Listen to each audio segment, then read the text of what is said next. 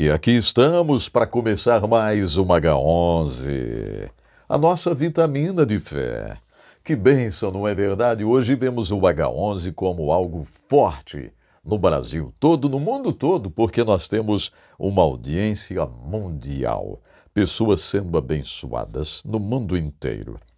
H11, uma vitamina de fé. Deus está aqui.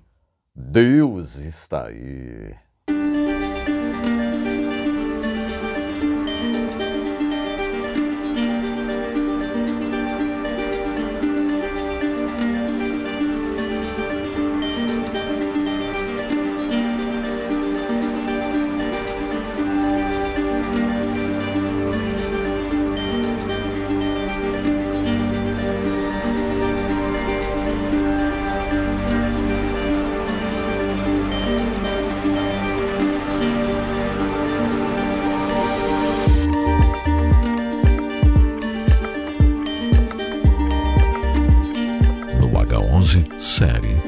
Meu Irmão André, o contrabandista de Deus.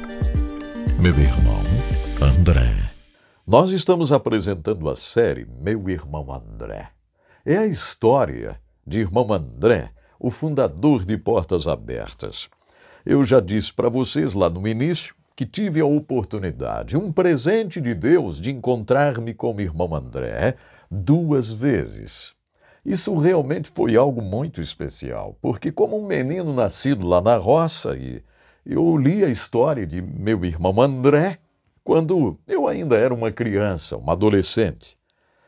E, claro, formei esse desejo de um dia encontrar-me com meu irmão André. E isso aconteceu. E eu disse, meu irmão André.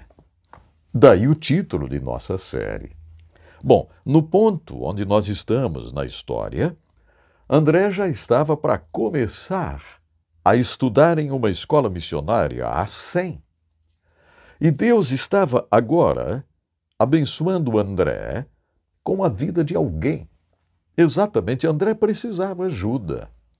E é maravilhoso quando alguém se coloca à disposição de Deus. Foi isso que a gente viu no episódio passado. Lembram? O Sr. Hopkins, um construtor, um empresário que doava 90% da sua renda para a obra missionária. E ele foi lá buscar André para ficar na sua casa, porque André não tinha onde ficar. Então André diz assim: poucos minutos depois eu estava à porta do edifício despedindo-me do pessoal. O edifício está bonito, André, disse o diretor, apertando a minha mão. Lembram? André tinha pintado o edifício da 100. Desci a escada com William Hopkins e nos dirigimos ao seu caminhão. A casa dos Hopkins à margem do rio Tamisa era mais ou menos o que eu esperava. Simples, convidativa, aconchegante. A senhora Hopkins era inválida. Passava a maior parte do dia na cama, mas não fez objeções à minha invasão. Fique à vontade aqui, disse ela ao me cumprimentar. Você descobrirá onde é o guarda-louça e também vai ver que a porta da frente nunca está trancada. Então ela virou-se para o seu esposo e vi nos seus olhos o mesmo brilho que eu tinha visto nos olhos dele. E não fique surpreso se você encontrar algum intruso na sua cama alguma noite. Isso já aconteceu. Se isso acontecer, há lençóis e travesseiros na cômoda e você pode dormir no sofá junto à lareira. Antes de se passar uma semana, eu iria descobrir o quanto aquelas palavras eram exatas. Certa noite, quando voltei para casa depois de outra espera longa e infrutífera na agência que me deveria dar permissão para trabalhar, encontrei o senhor e a senhora Hopkins sentados na sala. Não precisa ir para o seu quarto, André, disse a senhora Hopkins. Há um bêbado na sua cama. Já tomamos chá, mas deixamos um pouco de chá para você. Enquanto eu tomava a refeição diante da lareira, ela me falou a respeito do homem que estava na minha cama. Ele se escondera da chuva na pequena missão que o Sr. Hopkins dirigia e o Sr. Hopkins o trouxera para casa. Quando ele se levantar, encontrará o que comer e o que vestir, disse a Sra. Hopkins, Não sei de onde virão as roupas, mas Deus vai suprir. E Deus supriu. Naquela e em uma dúzia de ocasiões semelhantes, enquanto eu estava morando com os Hopkins, eu vi Deus vir ao encontro de suas necessidades práticas da forma mais incomum. Jamais vi alguém sair faminto ou sem agasalho da casa dos Hopkins.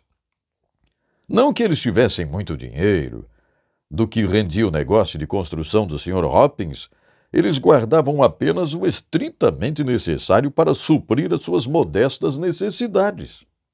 Estranhos, como eu, os mendigos, andarilhos e bêbados que passavam continuamente pela sua porta tinham que ser alimentados por Deus. E Deus nunca falhou.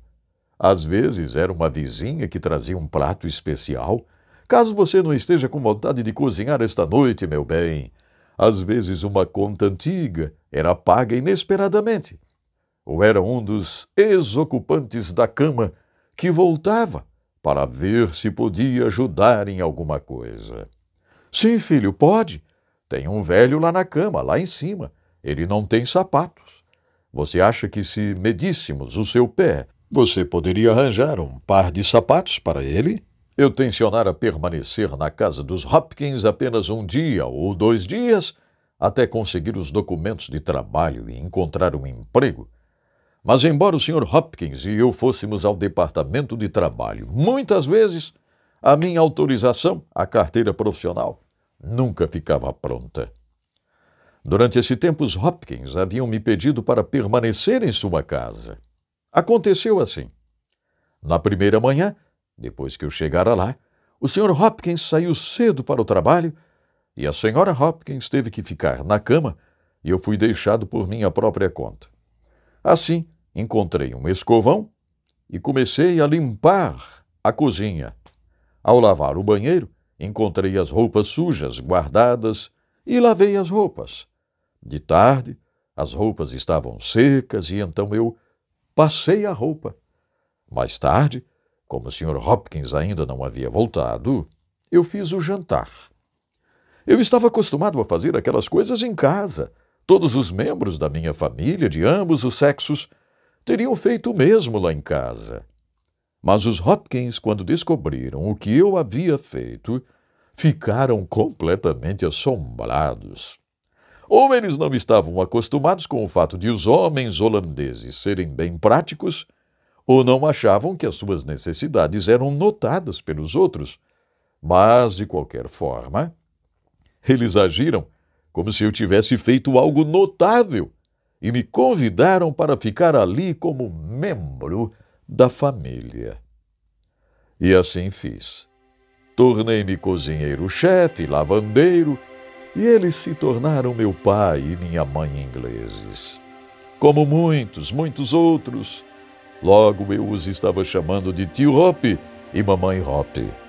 Na verdade, em muitos aspectos, a senhora Hopkins me fazia lembrar a minha mamãe, tanto na sua aceitação da dor e da doença, sem queixas, como na porta nunca trancada para os necessitados.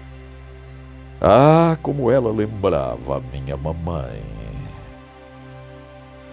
Que preciosidade, hein? O que chamou sua atenção nesse episódio? Chamou-me a atenção já no início. O mesmo brilho que tinha nos olhos do Sr. Hopkins, tinha também nos olhos da Sra. Hopkins. O mesmo brilho nos olhos, o mesmo desejo de ajudar, o mesmo desejo de ser uma bênção aqui nessa terra Olha, eu vou dizer uma coisa a vocês. Eu quero ser uma bênção aqui nesta terra.